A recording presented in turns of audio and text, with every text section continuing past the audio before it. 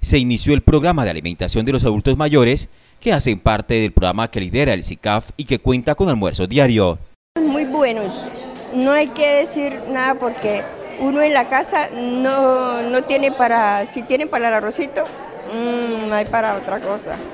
Entonces, están muy buenos los almuerzos y gracias a Dios que otra vez se dieron los almuerzos. Y debían de haber más programas así, que hubiera más cobertura para más adultos mayores que están en las otras comunas, ¿no? Que faltan todavía por, por este apoyo del almuercito caliente para ellos. El Centro Integral de Atención y Capacitación a la Familia SICAD beneficia a más de 100 personas en este programa. Muy buena, está de primera.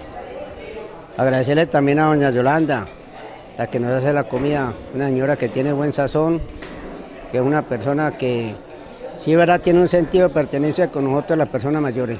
Desde este lunes y hasta el mes de diciembre los ancianos disfrutarán de almuerzos que entrega la administración a las personas de bajos recursos que no pueden acceder al alimento en sus hogares. Muchos de estos ya no tienen quien responda por ellos.